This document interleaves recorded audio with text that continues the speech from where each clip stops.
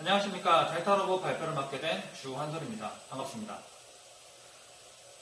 델타 로봇 프로젝트는 저와 조승현, 진규환 이 세 명의 학생으로 구성되었습니다.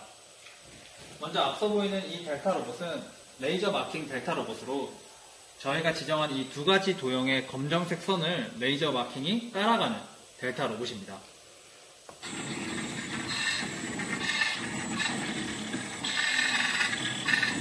보시는 바와 같이 지정된 검정색 선을 레이저 마킹이 빠르고 정확하게 움직이는 것을 확인하실 수 있습니다. 이어서 pick and place 델타 로봇입니다.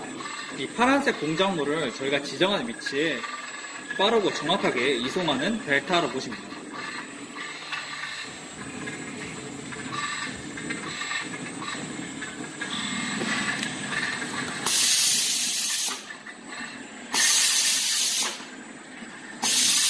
왼쪽에 보이는 화면은 작업자가 원격으로 작업 공정을 확인할 수 있도록 HMI 작화도 시행하였습니다.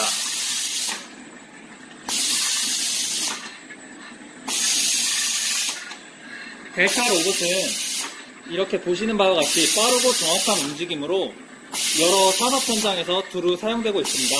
그렇기 때문에 저희 세 명이 취업을 하였을 때 좀 더 현장에 잘 적응할 수 있다고 판단하여 직접 제작 및 설계, 조립, 프로그래밍까지 모두 한 프로젝트입니다.